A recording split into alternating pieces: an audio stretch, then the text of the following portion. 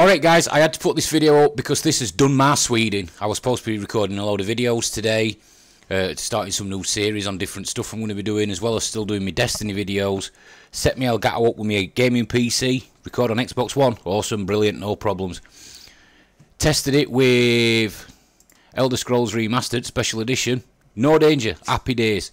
Tried to play some Bioshock Infinite, and I get that infamous no signal that you get here. No signal at the top.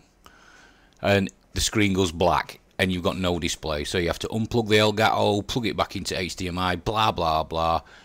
I've watched loads of YouTube videos, read up forums, and I couldn't for twazik in life for me figure out what were going wrong. So I, I went into Elder Scrolls, I checked screen resolution, and that's basically what it were. So if I kick this up now, That's very loud.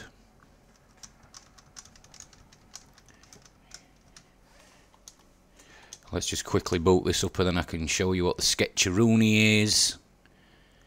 So we are at my this all booted up, graphics are beautiful, everything looks awesome, lighting effects so cool. I've never played this one before, which is why I wanted to do some uh, videos on it. And basically what it were, I had to set that to that, and that to that. When I checked on Skyrim, it were already set screen resolution with 1280 720.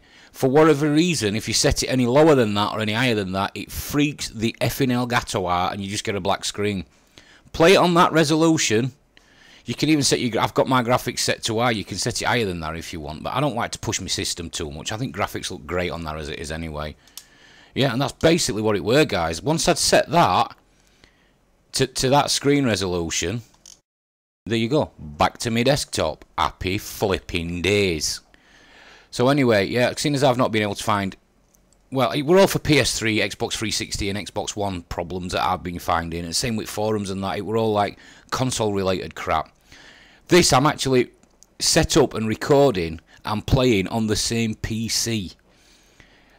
It won't work if I plug it into my laptop. There's some conflict between resolution settings on my laptop, resolution settings at games that mean they're playing like half-winded mode and stuff, and I just cannot be asked to try and find out what's wrong with that. It's just doing me head in. So I set it up to record on and play on the same system because I've got a good gaming PC. So there you go. If you've been having that problem, guys, all you want to do is make sure, you see in here, set it to PC, video input HDMI, HDMI audio, expanded for HDMI color range, profile HD 1080. Quality, you can set that to what you want, that's up to you. And then I unchecked these, and everything seemed to work after that. Obviously, I can't change any settings on this now because I'm recording. But anyway, yeah, that, that, that were it.